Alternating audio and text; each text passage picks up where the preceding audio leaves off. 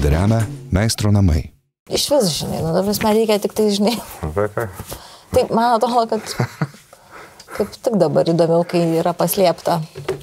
Jeigu kam įdomu, apie ką mes šiandien su Indra kalbam, tai apie internetinę pornografiją. Šitą paliekam? Galim palikti. Galim palikti. Labas, Indra. Labas. Labai malonu tave matyti čia, sveiki visi. Visada labai malonu. Kaip ir kalbėjom su tavim prieš šitą laidą, čia tau nežinių radijas.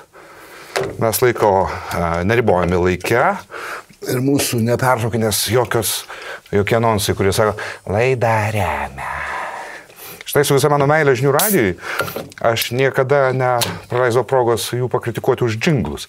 Ten yra kažkoks vaikinas, kuris įrašinėja džinglus ir reklamas ir jis mm. tokiu balsu šneka. Aš per visus tuos aštuonis metus, kiek aš dirbau, aš taip ir nepaklausiau, kuris tas vaikinas. Nors aš kiekvieną savaitę su juo matyti susitikdavau. Jie gera hebra, bet, bet ta džinglų, vadinkim, kultūra pas juos yra laida remia. Matai, nu čia aš manau, kaip pasakyti, čia komercinis, komercinis bet koks transliuotojas, komercinė žiniasklaida turi išgyventi. Nu, tai čia... čia ne apie tai kalbam, kad laida remia, aš kalbu, kokiu balsu tai, tai sakoma, koks dizainas yra. Bet, nu, tai gal tau vieninteliam tu nepatiko. Nepa... Tau gal vieninteliam nepatiko tai. Man nepatiko man ir visiems kitiems normaliems žmonėms, kurie au, augo ir formavosi su Radio Luxembourg. Iš kur tu žinai, kad kitiems nepatiko? Tu pradedi laidoje nuo, nuo ginčių su manim? Indra, žiūrėk, čia yra švietimo sistema. Kai darž, darželiuose ar valdiškose, ar, ar privačiuose, ypač valdiškose, kai vaikai, pavyzdžiui, mamos dienos proga išleidžiami į priekį bedeklamuotą eilėraštį ir įdeklamuoja eilėraštį šitaip. Tėtė, tėtė, tau, mamytė, mums pavasario žiedai. Ir visi ką daro? Ką visi tėvai daro? Ploja. Nu, ne visada taip sako vaikai. Nu, Dažniausiai. Nu. Aš noriu pasakyti, kad mūsų švietimo sistema visiškai nesirūpina iškalbą. Šiandien nekalbu apie tai, kad jie nesirūpina diskutavimo menu, teksto suvokimu, bet... Bet čia, žinok, atsiprašau, taip, taip, taip. aš, aš ginčiuosi. ginčiuosios. Tu dviejų mama, aš suprantu, taip. Dviejų mama, tai e, pavyzdžiui, mano sunus mokosi Vilnius licėjuje. Taip, respekt. E, tai m, tikrai labai daug dėmesio skiriama yra šitiems dalykams. Iškalbai. E, jie dabar rašo kalbą, rašė kalbą, Ir tikrai iškalbai ir tam argumentavimo menų yra skiriama dėmesio. Okay. Ir yra tų burelių. Šiaip aš, mes labai daug kritikuojam švietimo sistemą, aš irgi ją kritikuo, kritikavau, mhm. dabar šiek tiek susilaikau, okay. nes e, nu, negaligi tu nuolatos kritikuoti, kritikuoti, kritikuoti ir, ir, ir, ir nu, kaip. Ir toksiškai nieko nepasiūlyti. Ir, nu, tai pasiūlyti, ką tu gali pasiūlyti, tada tu turi eiti tą sistemą okay. ir kažką daryti, ar ne, nu, nes nuo to tos e, tokios e, e, kritikos iš šalies, daug čia tų kritikų iš šalies, tai kažkaip mm. dabar susilaikau, nors tikrai turėčiau galbūt ką pasakyti. Kita vertus, aš turiu pastebėti, kad galbūt tai priklauso nuo mokyklos, gal priklauso ir nuo vaiko, ir labiausiai turbūt priklauso nuo tėvų. Bet aš, pavyzdžiui, dabar neturiu priekaištų nei vienai savo vaiko mokyklai. Aš mhm. šiaip labai, aš žaviuosi Vilniaus licėjui. Okay. Aš žaviuosi, iš tikrųjų, tai aš pavydžiu savo vaikui tos mokyklos, mhm. E, kokioje jis aplinkoje mokosi, kokie yra mokytojai, koks yra santykis tarp vaikų ir mokytojų. Aš nuoširdžiai pavydžiu. Okay. Ir norėčiau, kad į panašią mokyklą, kai jau sulauks e, gimnazistės amžiaus, mano dukra patektų. Bet tam reikia pasimokyti. Bet ir mano dukros mokykla yra puikiai valstybinė mokykla, tikrai yra, sakykime, ten galima būtų galbūt kažkaip e, rasti prie ko prikipti, nes tai nėra jau, na, sakykime, ta stojamoji gimnazija, dar tik pro gimnaziją ir pro gimnazijos gal yra truputėlį silpnesnės Lietuvoje, Vilniuje. Aha. Bet uh, Bet, nu... Indrė, aš tikiuosi, kad tavo minimos mokslo įstaigos e, išaugins tokius vaikus ne tik tavo vaikų asmenyje, bet ir visų tos kartos ir jaunesnius vaikus tokioj dvasiui, kad tie vaikai atėję į supermarketą, į ky ar panašiai ir išgirdę iš lūbų krentančią reklamą, kuris skamba taip. Šiandien burokai 15 centų, tada tada tai 14 centų tai tada tie vaikai daugiau į kinę beis. Bet baisiausia tai, kad švietimo sistema, kuri yra rusifikacijos tasa, auklėja žmonės, kurie neužuodžia šitos smarvės. Užuodžia. Akustinės patikėk manim užuodžia. Ir tokio bambeklio kaip mano vaikas. Aha. Žinok, aš galvoju, aš, aš vienintelį, galvoju pasakysi, kad toks kaip aš. Tave didesnis bambeklis šitais klausimais. Okay. aš nebegaliu. Tai padėkdėjo, nes yra neįmanoma pasiektos tos ribos, kad, žinai, nu, ir niekas nesikeičia. Ateini ne. į K ir ten, ten buvo ta reklama Gerulis, kad na, tu krinžinė vaidybę. Ten, žinai, baisiausias tos reklamos, kurie bando vaidinti. Tai dabar pakeitė kitą, ten kažkas nieką geresnio, niekas nesikeičia. Aš- Sta, palauk, truputį. Statoilas buvęs, aš jūs visus pagausiu ir iššaudysiu.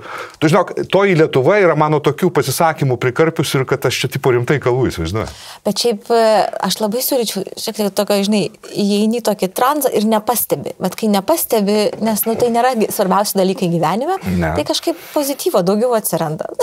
ir, ir nustoju Žiūrėkit, bambėti. ką tik- ką tik- Aš tai siūlau savo vaikui, kad e, šiaip labai yra gerai atsiriboti kartais. Ką tik mes išgirdom atvirų tekstų, gerbiamą Lietuvos žurnalistę Indrė Makraitytė pasakė mums maždaug tą patį, kas būtų.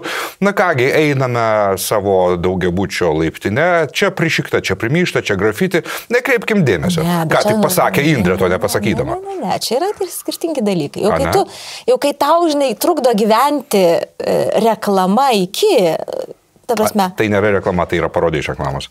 Čia Bet kaip... kai jau tau trūk, žiūrėk, Taip, čia, taip, yra, taip, taip. čia, žinai, čia yra toksai dalykas, kur, na, nu, ten tu, žinai, tu tikrai be to gali gyventi, tai nėra kažkoks tai, nu, sakykime, prišikta laiptinė, Taip. žinai, ar tenai kažkokia propagandinė žinutė, mhm. tai tu tikrai, nu, prasme, be to gali gyventi ir tau neturėtų trukdyti gyventi. Bet jeigu tau pradeda trukdyti gyventi tokie dalykai. tu normalus žmogus. Tai, Man kai sako, man- vadinasi, šiek tiek reikia atsiriboti. Tau tikrai trukdo šitie grafiti visi, tau tikrai trukdo, nu man tikrai trukdo. Ir tai, tu, tai yra tai normalus grafi, požiūris. jeigu tu lygini grafiti su kokia nors, sakykime, tikslinė reklama prekybos centre, nu, tai matai, grafiti tu... Analogija netiksli, bet e, e, e, Nelab- estetikos prasme tas pats. Tai, žinai, grafiti tu nelabai gali išvengti, tau, pavyzdžiui, reikia važiuoti pro to keliu visada. Tai yra tokia, žinai, bendra miesto erdvė, vieša erdvė. Ir kai ta erdvė yra teršiama, tai yra visai, žinai, tai jau didesnis efektas. Tai čia jau yra, aš sutinku, kad tai yra daugiau dėmesio reikalaujantis dalykas, bet kai tau trukdo iki reklama, nu tai neiktų tą iki. neik, tu tai iki, teisingai. teisingai. Tiesiog tu nueik į kitą parduotuvę, kuri ta, kurios ta... kuri Gerai, tada nenervina. pakalbėkim tada apie tai, kas man turi rūpėti. Pavyzdžiui, visuomeninis transliuotojas, iš, iš kurio karmuškės tu valgai. Tai, pavyzdžiui, da- dabar mes matom, TV3 turi anonso balsą, man atrodo, tam tas Jonas pavardę pamiršau. Jis yra absoliučiai idiotiškas balsas, sako, prancūziškas kinas, tiek per TV3. Tarsi jis būtų e, Donetsko propagandos ministrėlis. Tada LNK, ten e, reiškia, kita bobelka, padarė tą patį kaip TV3, kaip jai atrodo, tik gausi blogiau, nes berniukas blogesnis. Tai čia jų reikalas, čia yra privatus. Taip, aš kūnai. sakau, tai Bet LRT bando padaryti lygiai tą patį ir tai yra pats šudiniausias iš visų trijų paminėtų anonsinis balsas. Jis kalba taip, na, ką, Indrė, Makraitytė. Tarsi jisai būtų Aš augęs ant negirdėjau. rusiškų Gal tu nemoki pamp... Aš, žinok, man, aš net gal ir nemoku. Nes aš tokio negirdėjau. Jis daro tokį at, atsidusimą po fra... Penkias valandas. Čia, yra iš, čia viskas atėjo iš rusų. Mano geras draugas važinėja pirmin atgal iš Prancūzijos į Lietuvą, iš tas mamotas, jis pasakojo, kaip skamba radio stotis tavo automobilyje. Prancūzija, Vokietija viskas ok, žmonės kalba normaliais balsais. Prasideda Lenkija, tada ateina. Važiuoju Lietuvą tas pats, važiuoju toliau Rusiją tas pats. Tai čia gal LDK yra irgi Čia, palikimas. čia ne LDK, čia Moskovija. Jeigu nuo Lenkijos prasideda, tai čia gal LDK. Ir aš tai užtikrinau, kad jeigu LDK ir abiejų tautų respublika bendrai paėmus nebūtų būsios padalintos ir galutinai sunaikintos 1795 ir mes toliau vystytumės, tai viso šito nebūtų nei iš tolo. Ne, aš tikiu, kad yra daug to palikimo, bet, matai, aš, aš tokių dalykų nepastebiu. Aš kaip sugebėjusi esu gyvenime. Kaip Indrė vėl mums atvirų tekstų drasko, akis tai- mūsų laidoje sako, aš nepastebiu, kai prišikta laiptiniai. Čia kitas pats, Indrė. Ne, tą tai pastebiu, bet aš tai pastebi. laip, neturiu. Tai Kur... tavo tolerancijos thresholdas yra truputį kitaip. Ne, ne, nu, reikia, žinai, kažkaip, pavyzdžiui, mano sunus, jisai, nu, kiekvieną dieną aš išgirstu pastabą, nes netoli mūsų namų yra e, plovykla automatinė automobilių. Ir jį tas, jį siutina ne tik tas garsas, kurį mes girdim, bet principas, kad ta e, plovykla buvo pastatyta gyvenamajame rajone. Iš, nu, tiesiog Taip. toks, e, kad ne kažkur toliau už... Turiminėjai akustinę taršą turbūt? E, Akustinė tarša, iš tikrųjų. Ir, em, nu, ir chemikalinė tarša, nes Na, e, taip. kai kurie, kai kurie namai, kurie yra arčiau, tai jie jaučia tą, na, tą dulksną tokią tų chemikalų.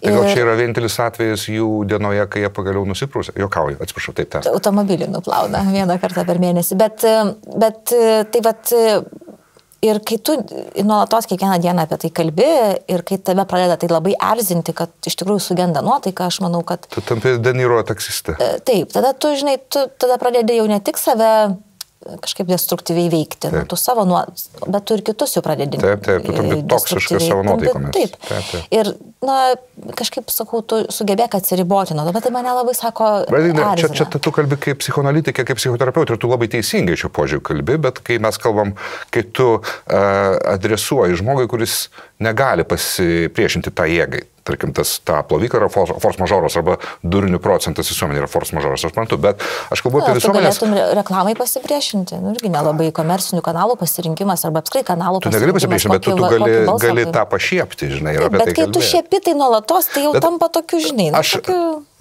aš stengiuosi tą dozuoti. Aš, ir matai, aš tą suvedu vis dėlto į švietimo sistemą, kuri yra rusifikacijos tasa. Ir tas gyvelkai grįžtant į darželį. Išeina vaikas per mamos dieną darželį išmokęs eilėraštį. Padeklamoja jį bet kaip. Su tom e, infantiliom intonacijom, su užkilimu. Algi, kada paskutinį kartą darželėje buvai? Mano vaikui buvo 3 ir 4 ir Tai mano... kiek dabar tavo vaikų yra? Mano dabar septyn- e, 17 vaikų. Tai, tai tu įsivaizduoji, kaip tai yra pasikeitę? Įsivaizduoju, kad tai neapsikeitė ne, Pasikeitė. ne per nago juodimą. Pasikeitė. Gal aš klystu, okei. Okay. Ne, tikrai pasikeitė. Nu, pasikeitė, nes vaikai Okay. keičiasi ir, nu, pavyzdžiui, mano vaiko niekada niekas neprivartavo e, sakyti eilėraščio, jeigu jisai nenorėjo sakyti eilėraščio. Okay. Ir visada, pavyzdžiui, ir abiejose. e, Ir mano vaikai, abu du vaikai lankė tą patį valstybinį darželį mhm. ir niekada nebuvo nei vienam prievartos kažką daryti. Ir eidavo sakyti eilėraščių tie vaikai, kurie norėdavo sakyti tuos eilėraščius, dainuoti, norėjo, mokėjo ir galėjo. Mhm. Ir tai darė ne tokiu balsu. Gal tu, gal tu nepas... Ok, o aš Bet labai tiesiog- tikiuosi, kad taip yra. Gal tu nepasibėjai mano vieno iš, vienos iš breunų, kurią aš norėjau užaštrinti. Kas atsitinka, kai vaikas padeklamuoja eilėraštį absoliučiai siaubingai? Ką tėvai daro? Jie visi ploja. Taip, yra Bet tai vaikas užprogramuojamas haltūrai. Ne, bet tu vaiką augdai, nu tai tu ne ką dabar turi sumurdyti į... Aš, aš purvą. nesu vaikų e, psichiatras, bet aš manau, kad yra ta riba, ties, iki kurios tu gali ploti vaikų už visišką haltūrą, net jam žinant, kad haltūra. Ir yra riba, už kurios tu gali jam labai švelniai, taip kaip liepia metodika vaikų specialistų, pasakyti, kad galėjo būti geriau. Ne? Na, bet čia turbūt nuo tėvų priklauso, kaip jie savo vaikus e, auklėja. Tai Na, vaikai maži e, nemoka pralaimėti. Ir reikia juos išmokyti pralaimėti. Tai ir aš su saviškiais turėjau iššūkių ir mano sesės dabar vaikai vat, yra to amžiaus, kur jiems yra labai sunku Ant pralaimėti. kokios salietros tu statydavai vaikus ant kelienių kalio ar natrio? Iš kurios salietros parakas daromas, gerbiama šaulė? Aš sakydavau, vaiku, aš vaikams tiesiai pasakydavau, kad yra labai blogai. Mhm, okay. Tiesiai, aki- tokiu atviru tekstu, kad reikia išmokti pralaimėti. Ir dar netgi pasakydavau, žinok, tu rytoj tai greičiausiai nieko nelaimėsi. Tai tu, o jeigu ir laimėsi, labai gerai, bet jeigu pralaimėsi, tai žinok, kad ir toks būna. Tu jauti savyje truputį, kaip ir aš turėčiau, mes visi tos kartos, kurie prisiragavo sovietmečio, truputį sovietuko savyje. Ir kaip su tuo kovoja, jeigu kovoja. Aš net gal ne sovietuko mat- savyje, aš tokių labai, labai blogų auklėjimo padarinių esu produktas. Tokio, tokio tradicinio lietuviško auklėjimo gal, nežinau. Tu turėjai TV ar mokykla, ar abu? Nu tai viskas, Viskas, ne? viskas. nu aš nežinau, šiaip tai aš esu žiauriai daug diržo gaus. Diržo gavas. Taip. Tai štai iš kur tas, tas žudantis žvilgsnis. Paprastuoju būdu.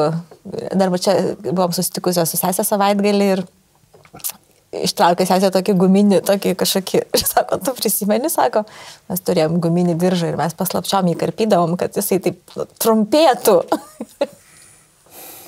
Mama ištekdavo tik pasižiūrėti tą vietą, kur diržas padėtas. Mhm. Na, nu, aš nežinau, man atrodo, kad e, 90 procentų mm, mūsų kartos vaikų yra gavę. Tie, kurie negavę, tai buvo laimės kūdikiai, nes kažkodėl jų tėvai nemuždavo, nežinau. Mm. Bet aš esu gavus diržo daug. Ir skaudžiai. Šiandien tu nubraukai visas tas neigiamas emocijas, nes šiandien yra diena, kai tu pagaliau sėdai iš normalaus automobilio vairo ir tu vairavai į čia. taip, už tanko. Papasakok įspūdžius. Ne, jokia, tik to. Ne, geras. Tu taip ir nepaspaudai gazo dugno, Indrė. geras. Va dabar antrą kartą važiuočiau, tai paspauščiau, bet žinai, Tai nu, ne jeigu tu šitoj laidoj ma- man nedraskysi akių, tai gal aš tau duosiu atgal atvairuoti. nebūna. Gerai, tu šaulėsi ir tu esi e, iš tų šaulių, kurie O kitokių ir nebūna Lietuvoje šiais laikais, kurie yra tikri šauliai ir kurie tikrai aukoja savo laiką ir labai rimtai tai žiūri. Tai? Neturiu aš čia kuo labai girtis, nes nesu aš il, šaulė ilgai, aš esu nuo 22 metų kovo. Mhm. Tai, tai, nu, tai dviejus su trupučiu. Mhm. Tai neturiu aš kuo girtis, net nelabai galėčiau kažkuo girtis, nes to laiko e, reikia labai daug ir jo dar negana. Mm. Nes yra daug ką mokytis iš tikrųjų. Tai nežinau, gal, gal žmonėms, kurie e, labiau gyveno karybą visą gyvenimą, aš manau, kad moterų turbūt šiaip mažuma to, tarp tokių yra, nes natūraliai turbūt čia kažkaip mažiau klausimai šiaip domina, nežinau, man atrodo, kad taip statistiškai yra. Tai gal, gal vyrams yra truputį lengviau, nes man tai viską reikėjo nuo nulio. Aš šiaip e, daug, dal, tikrai daug dalykų sužinojau, kad tokia egzistuoja, tik tai įstojus į šaulius. Tai man reikėjo labai ir reikia dar labai daug mokytis. Tai, mm. Bet laiko tikrai daug. Bet ginklo baimė jau praėjo, ar jos neturėjai? Aš jos neturėjau. Neturėjai. Aš jos neturėjau, jinai tik tai... Tik tai žiauriai sunkus tas. Ginklo baimė yra visiškai racionalus dalykas. Aš, aš bijočiau žmogaus, jeigu jis ne, neturėtų ginklo baimės niekada gyvenime. Ne, ne ta prasme, kad ginklo baimė. Tiesiog, aišku, kad tu turi žinoti, ką tavo tas ginklas reiškia, mhm. kokia yra jo gale, bet e, man nebuvo baisu jo paimti rankas ar ten kažkaip. E, mhm. Aš, tai nebuvo pirmas kartas, kai aš ginklą į rankas paėmiau, bet visada, kai pirmą kartą mhm. paėmin, tokia yra nu ką su juo daryti, tai nebėra to jausmo, kad nebežinau, ką daryti su tuo ginklu. Bet e, sunkus jisai žaltys. Automatinės, tu, kaip jūs šauliai, jūs turit savo ginklą, kurį jūs galite laikyti namie. Ir tai yra... Nu, ginklas šaulio, šaulio tarnybai tu gali turėti visus iki automatinio. Taip. Yra kategorijos? Taip. Tu jau gali A kategorijos turėti. Čia pastarojo meto pakeitimai, ačiū Dievui. Tai Taip, ta prasme, čia pastarojo meto pakeitimai, okay. taip, nėra čia senas dalykas. Tai, Bet galima laikyti, galima laikyti jau ir A kategorijos ginklą. A kategorijos ginklas yra taip pat ir branduolinis užtaisas, tai tu namie, tai aišku, turi, turi keletą turi. Pas mane visas arsenalas, ramiai. jeigu, jeigu negeri svečiai ateis, tai tada purvina bomba jiems. Laukinė šėlė. Tai aš manau, kad, na, aišku, čia turi kelias pusės šitas dalykas. Mm, mes vis tarpusavį pasikalbam, kad mm, gerai, kad dar nėra kokios nelaimės, bet tų nelaimių yra buvę. Tai iš tikrųjų reikia labai atsargiai žiūrėti, atidžiai žiūrėti ir ne, ginklas tikrai nėra žaisliukas. Ir šiaip, kas labai man patinka ir manau, kad tai yra labai labai svarbu, kad tikrai labai, bent jau mūsų kopoje ir tose kopose, su kuriamis dirbame, tai labai atidžiai, labai atsakingai žiūrime ginklą, tikrai ten tos klaidos yra už klaidas baudžiama. Mhm. Ir, ir ta visa ginklo sauga. Ir... Kiek tau e, atima į, tarkim, savaitę šauliavimas? Ar į mėnesį? Šiaip e, yra vienos, na, sakykime, tokios privalomos pratybos Aha. per, per, per mėnesį.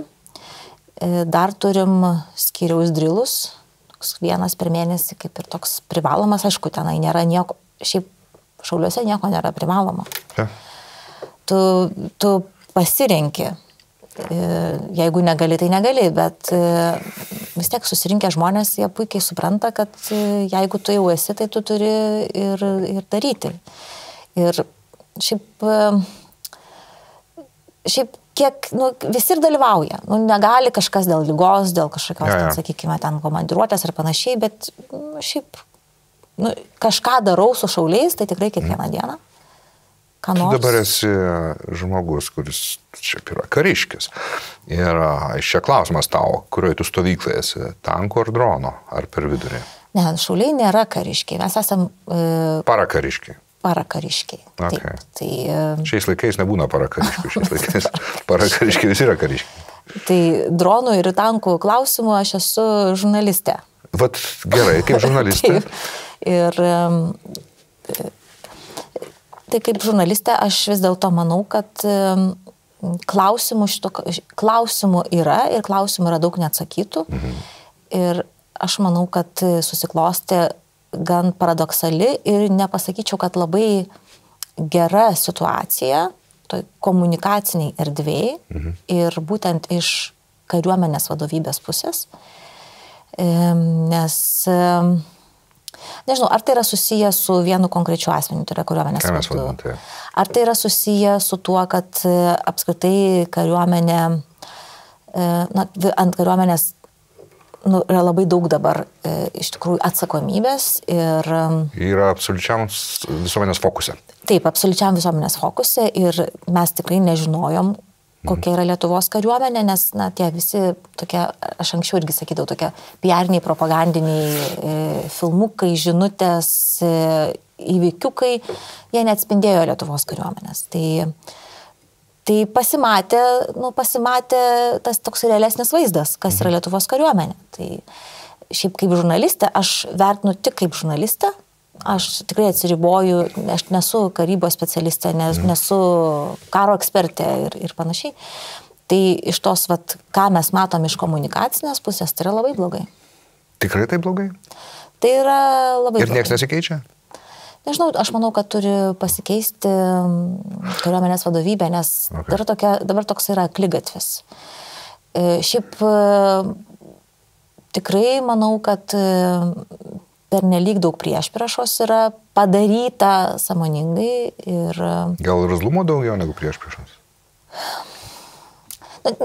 Aš nenoriu suvesti visko į vieną kariuomenės vadą, okay. kuris e, šiaip yra turbūt problematiška asmenybė dėl to, kad jeigu jisai sugeba e, ko neveikti žurnalistą, kuris jam paskambina ir e, kuris iš tiesų turi vis dėlto, turėjo um, rizikingų momentų savo karjeroje, apie ką nežinojo specialiosios tarnybos, tą aš kaip žurnalistė galiu patvirtinti, nes Turimini iš kelių šaltinių buvo. Mokymasis rusiškoje. Taip, ir ta prasme, kad vis dėlto tai buvo mhm. problematiška, nežinojo, ne visi, kam reikėjo, tai žinojo, mhm. tai patvirtino net keli mano šaltiniai. Mhm.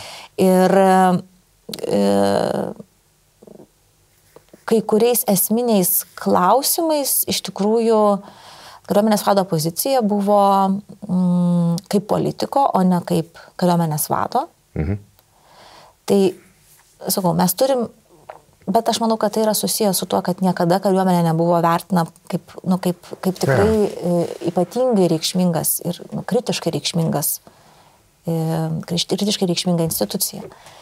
Ir, ir, ir renkantis kariuomenės vadą turbūt buvo kiti kriterijai.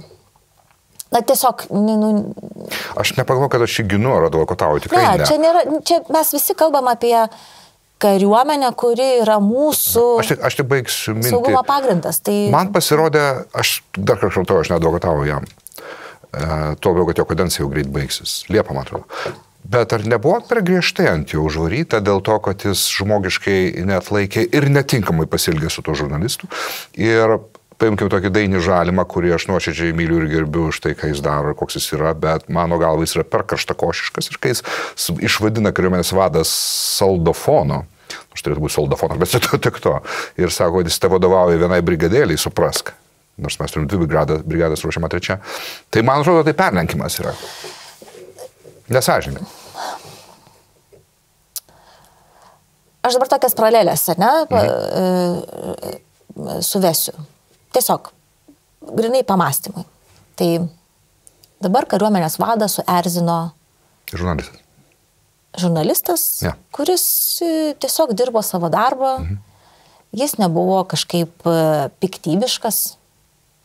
Jis nebuvo, jisai buvo šiaip ramūnas, tas žurnalistas, kuris jam skambino, yra doras žmogus. Normalus. Tas buvo, man atrodo, tokia gera kokybė, atrodė, kad gyvai, bet skambino, sakai, skambino, okei. Okay. Bet aš net dabar nežinau tų detalių, bet nesvarbu, ar okay. skambino, ar neskambino, tad Ramūnas yra e, tikrai puikus žurnalistas, mhm. jisai, jisai gerai dirba, jis nėra e, propagandistas, jis ja. nėra kažkokios e, svetimo šalies e, atsiųstas žurnalistas, ar ne, jisai nėra mūsų priešas, jis yra Lietuvos pilietis. Ir dabar kariuomenės vadas iš ko neveikia, nes jam nepatiko klausimai, jisai, su, jisai leido. Nesutirštinės savo... pasako, jūs durnas ir tu pat atsiprašo. Nu, ar čia iš ko neveikimas? Čia netinkamas elgesys. Ne, bet... ta prasme, visas tas interviu buvo Aha. iš tikrųjų toksai, na, nu, toks, visas interviu, visas pokalbis buvo ko neveikimas to žurnalisto. Okay. Šiaip jau. Mhm. Ir nu, kai mes žinom, kad tai yra generolas, kalb, generolas, Lietuvos kariuomenės vadas kalba šitaip su mhm. žurnalistu ir jisai žino, kad tai yra įrašas ir tai žino, mhm. vadinasi, jisai nesivaldo. To yra. Ir aš pamenu, kai aš nuėjau pas e, tuomet saugumo departamento vadovą Arvidą Pocių, tokį, kuris, e, kurį mes užfiksavom ir išaiškinom, kad jisai buvo KGB rezervo sąrašuose. Mm.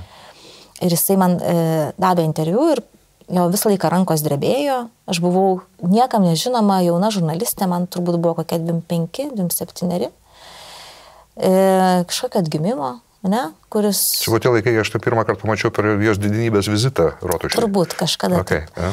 ir, ir jisai, jis buvo visiškai panikoje ir jisai tom drebančiam rankom man kišo į rankinuką saldainius. Vestuvė. Ir aš, sako, parneš savo šeimai ir, ir aš pagalvojau, man tuo metu mane tiesiog smelkia mintis, ta prasme, tai jeigu tu šitaip drebi prieš mane, prieš kažkokią tai eilinę žurnalistę, tai kaip tu tada drebi prieš kitus, kurie turi įtakos ir galios. Tai man, bet čia yra kriterijus, ar ne? Ar Taip. tu sugebi, tai, tai jeigu tave sunervina žurnalistas ir šitaip išerzina. Mhm. Aš suprantu mintį, tu teisi. Tai, tai, nu, tai mes ir kalbėkim apie tai. Nu, tai mes E, nekalbėkim plačiai, o kas jeigu ką ir kariuomenės ten vadas, kariškiai gali keiktis yeah. ir pasiūsti. Žinoma, ir gali ir pasiūsti, ir, ir, ir nusikeikti ir panašiai. Bet tam ir yra tokioj pozicijoje žmogus, mhm. kad jisai vis dėlto atskirtų, kada jisai gali pasiūsti ir kada jis negali pasiūsti. Okay.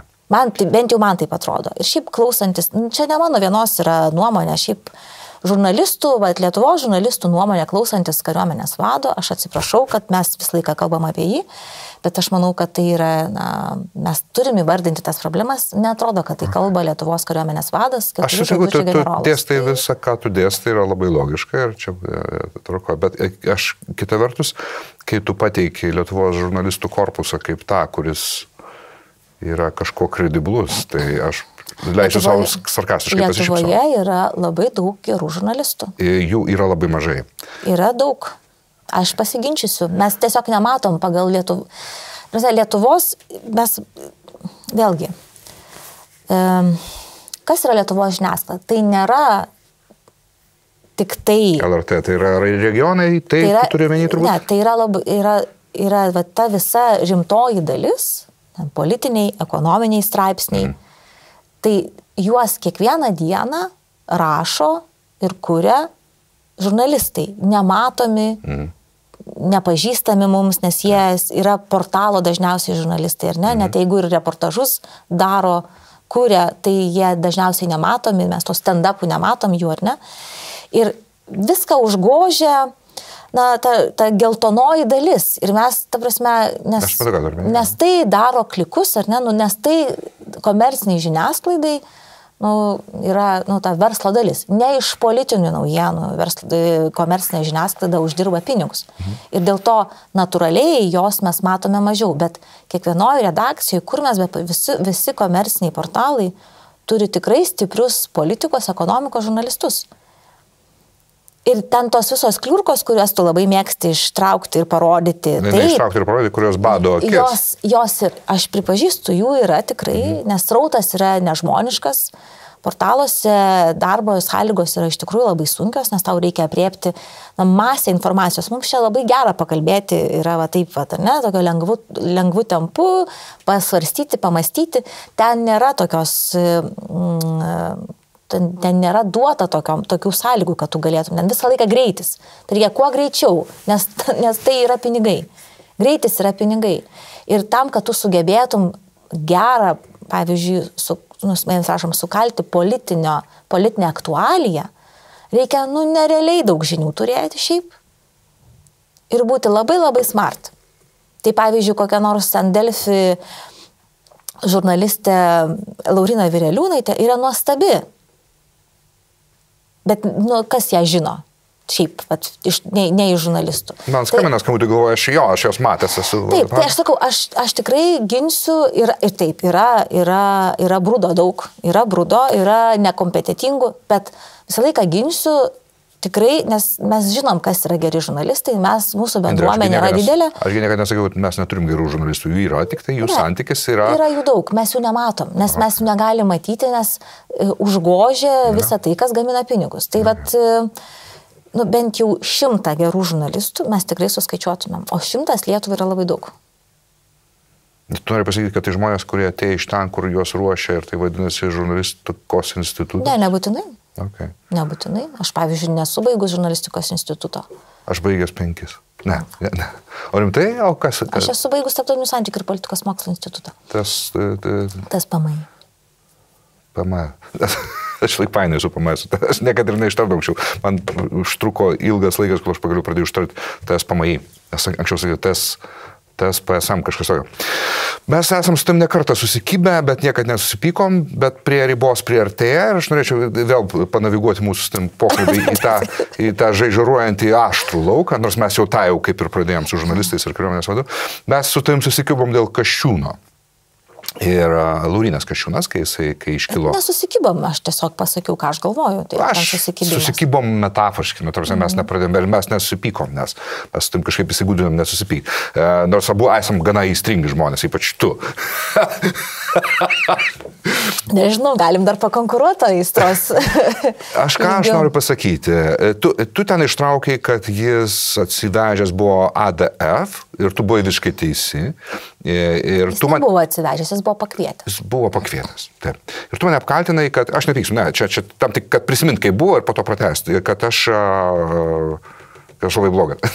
ne, aš, para, aš neapkaltinau, aš parašiau, kad um, labai dažnai, čia ne tik tau asmeniškai mhm. buvo skirta, Taip. bet labai dažnai tokiuose aplinkybėse, kai um, sužino žmogus kokią nors uh, informaciją, kuri nepat, kurios, nu, kuri truputį netinka jo matymui.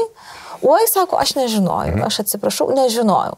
Tai, bet jeigu tu nežinai ir tu iš karto stoji ginti to žmogaus, tai, tai reiškia, kad arba tu nepasiruošiai, mhm.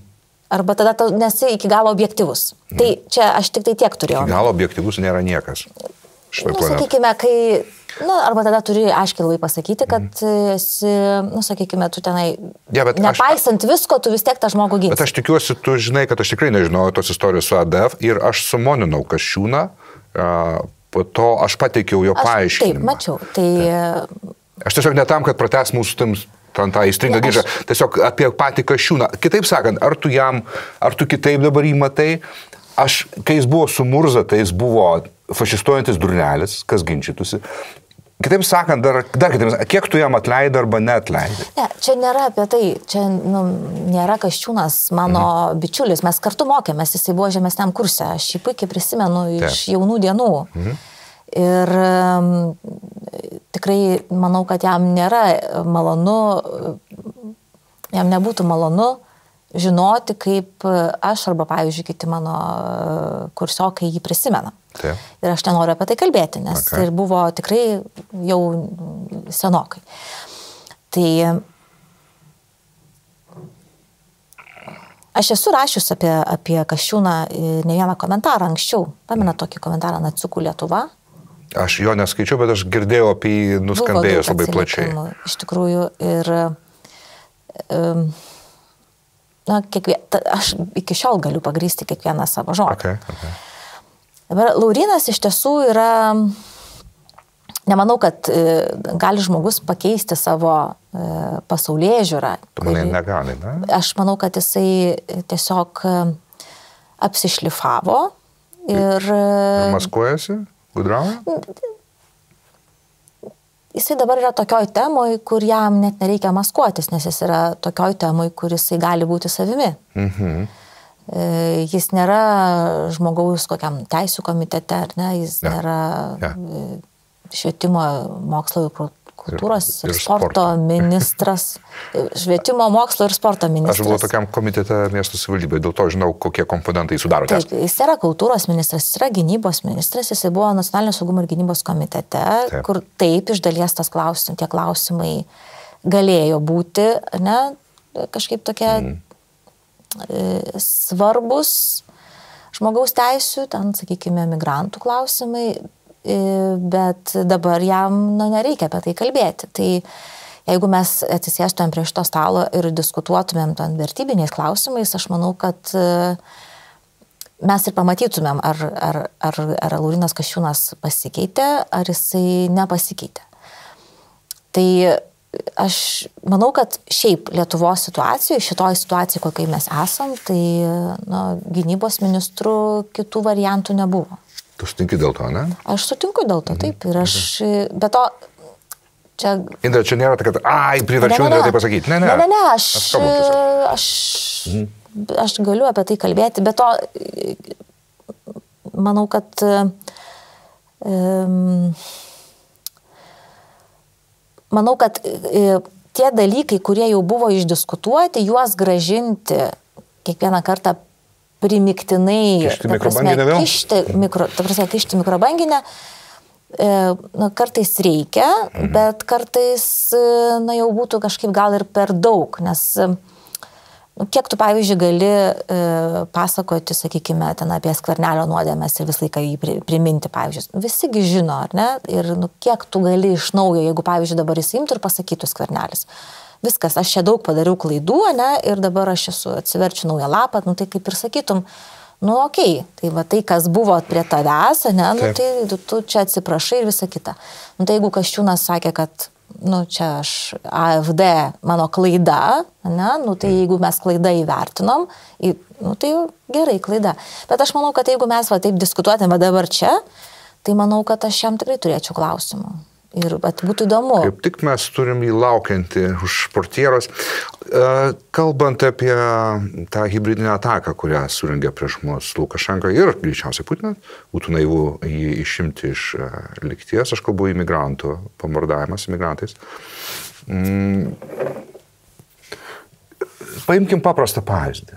E, Kašiūnas, ne, ne tam, kad čia ginčiama, tiesiog įdomu dasikasti iki to, reiškia, iki paties brandolio, kur čia, tas, kur čia tos pažiūros, kaip jos skiriasi ir kodėl. E, jis be kita ko buvo kritikuojamas, kad jis yra leptelėjęs aistringai, kad e, žmonės, kurie bombarduoja mus per sieną, yra, ateina iš visuomenių, aš tiksliai ne, citatos neprisimenu, bet jie ateina iš visuomenių, kur vaikas nėra tokia jau didelė vertybė. Ir tai išsprogdino daug ką iš tai, ką mes pavadintume uh, left-leaning liberals. Ir čia jų teisė.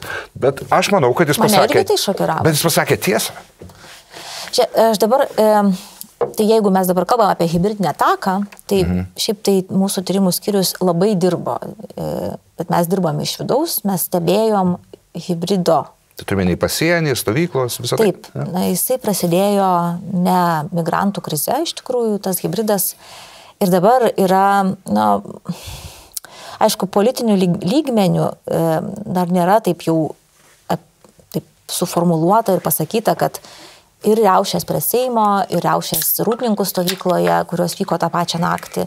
Imbiro imk. Gerai, ačiū. Paskutinį tą visą. Ir... Dėkui.